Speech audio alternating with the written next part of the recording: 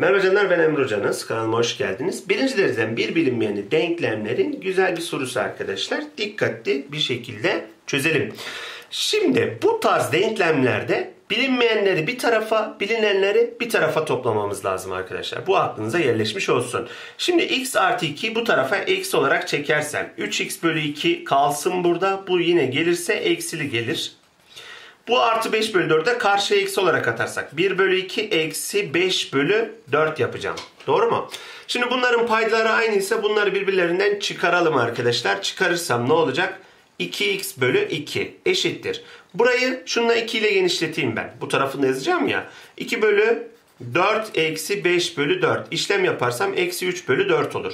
Bu da neye eşitmiş? Eksi 3 bölü 4'e. Doğru mu? Şimdi bir daha içler dışlar çarpımı yapalım. 8x eşittir eksi 6, x eşittir eksi 6 bölü 8 olarak bulunur. Ya da sadeleştirirsin eksi 3 bölü 4 olarak da bulabilirsiniz.